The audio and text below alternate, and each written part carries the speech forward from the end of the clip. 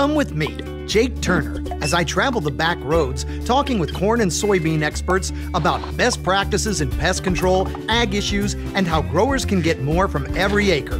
All you need is a minute. I'm on my way to talk with Larry Steckel, Extension Weed Specialist at the University of Tennessee, about overlapping residuals, a great method for combating weeds like water hemp, pigweed, and mare's tail. Ask any grower what his biggest challenge is in the field, and he'll probably say resistant weeds.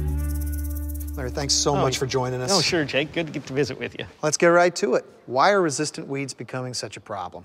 Well, it really boils down to basically one thing is that most farmers over time have gone to basically one tactic to try and manage these weeds. Uh, and the weeds have adapted to it. And that basic tactic has been glyphosate, just using it. And now that it's not working so effectively on a number of key weeds, we got to do something different. So, what happens when these weeds are allowed to compete with crops like soybean and corn? How does that impact the yield? Well, in a lot of cases, especially when Palmer amaranth really got away from us a couple years ago, it, you didn't harvest the field.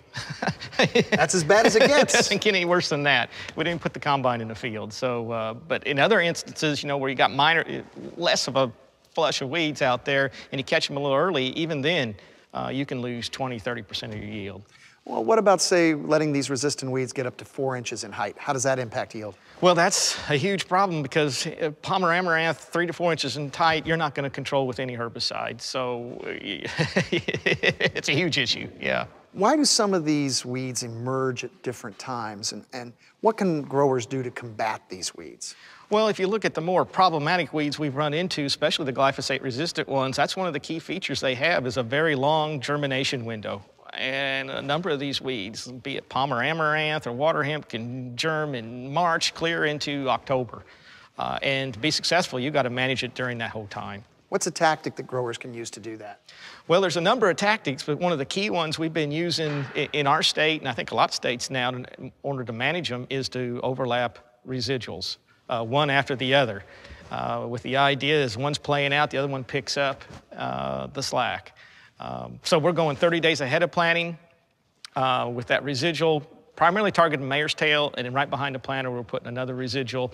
Um, and then another 20 days at post emergence, we're putting another residual.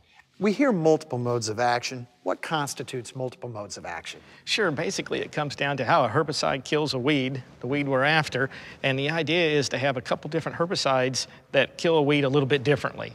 Uh, so you're not using the same basically herbicide uh, all the time. So that's why it's so important to use pre's like Anthem or for soybeans Authority, and then follow it up once or even multiple times with strong posts like uh, Marvel, Cadet, or Solstice, correct? Sure, that's a good example because you, what you, the herbicides you've talked about there, they all kill a lot of the quite problem weeds, particularly Palmer amaranth, a little bit differently. So you, you're mixing it up. That's what you need. What would be the best practices you'd suggest for a grower to combat these weeds?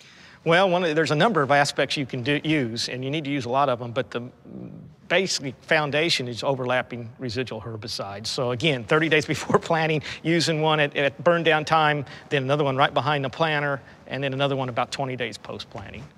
Larry, thank you so much. Oh, sure, Jake. Yeah, yeah. Thanks.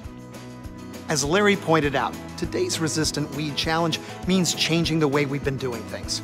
Adding multiple modes of activity by overlapping residual herbicides, we can control troublesome weeds that threaten yield. So until next time, be safe out there, and I'll see you down the road when you have a minute.